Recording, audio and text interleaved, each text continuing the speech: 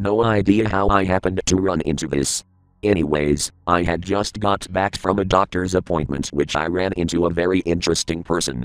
It was Stephen Hillenburg, whom you all may know the creator of SpongeBob SquarePants, waiting to see his doctor as well. There was something off about him during my visit though. He seemed very shaky and just stuttering whenever I said a single word to him, like if he saw something that shouldn't have been seen. I said, You seem to be worried. Oh, uh, it's nothing. I'm alright, kid. He replied in his nervous way. I said in my cheerful voice, Well, it was very nice to hear from you, Almighty One. Kid, I'm giving you this tape an old friend and I made back in 2003. Please get it away from me. He said. Sure. I said, acting like nothing was wrong with him. He handed me an orange tape with copyright labeled 2003 retail. This strikes me very hard. Was this something we fans never heard of or something? I thought in my cheery way. When I got home, I plumped this baby in my old VCR, and it started like if it was a brand new DVD. Then I noticed an awkward thing about the little Nickelodeon fish that appears before SpongeBob was looking off. It was very rough and looked unfinished, as I can still see the lines in the middle of the model. Later, the intro came on. It was normal, except the letters at the end of the intro were a very light pink and the drawing of SpongeBob had a sad or nervous impression. The episode started. The title was Squidward Loses It, and it was in big bold pink letters. After the bubble transition, it had Patrick, looking very season 1 ish, chewing on something hard and blue which had his teeth covered with red stains.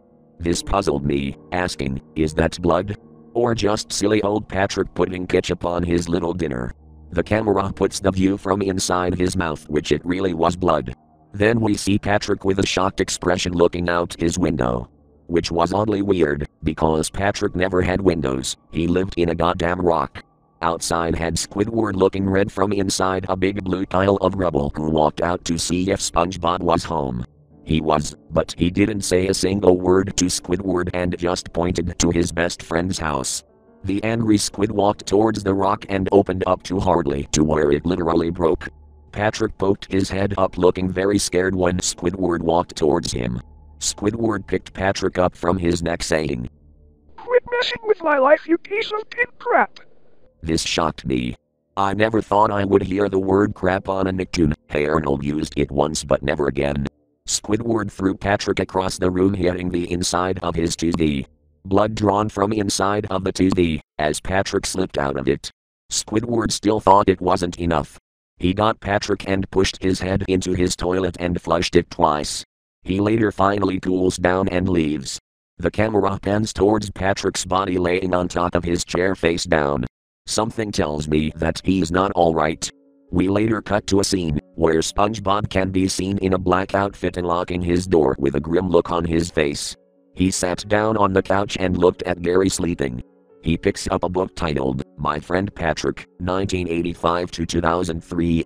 We see pictures from past episodes from season 1, 2, 3, and an image that caught my attention that looked like season 4. This means that Patrick must have died after what Squidward did to him. SpongeBob bursts into tears nearly flooding his house in a cartoony fashion. The tears goes into Squidward's house which basically makes him pissed and his hot head drained all of the water out of his house like his superhero counterpart, Captain Magma. He walks into SpongeBob's house looking furious once again. He picks up SpongeBob from his head and squeezes his so hard that his fist becomes more detailed when he did it. SpongeBob's blood and heart slithered out of his holes and he slipped down to the ground. I've done it now. Why must these pills do this to me? He picks up some pills labeled stress relief. He opened it up, throws the pills and lands it on Gary's shell. Gary slithers in a fast way under Squidward's leg and bites it. Blood can be curving from Squidward's leg. Gary later bites Squidward on the head until the cops come in with blood on their shoes.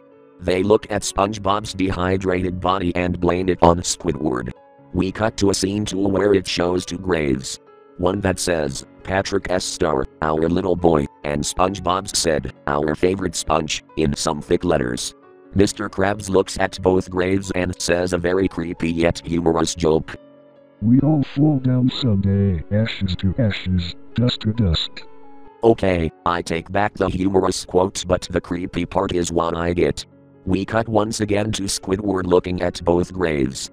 I noticed that he was looking kinda bluer than usual. More like the pilot episode. He cries as he speaks this quote. The only two people who ever loved me are you. SpongeBob and Patrick. I must join you guys. He started to repeatedly beat his head on their graves until he dies. Seeing that whole event makes me want to do the same.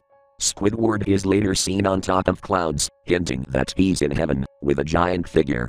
The figure said these words in a deep voice. No matter what you do, you can bring your friends back from your own mistakes. I'm pretty sure they won't forgive you either. Squidward was later transported to a dark red place which looked like hell. He just sat there and cried for his two friends to come back to him. The episode ended from right there. After seeing that whole episode, I just thought, maybe it's time to quit with the sponge for a bit.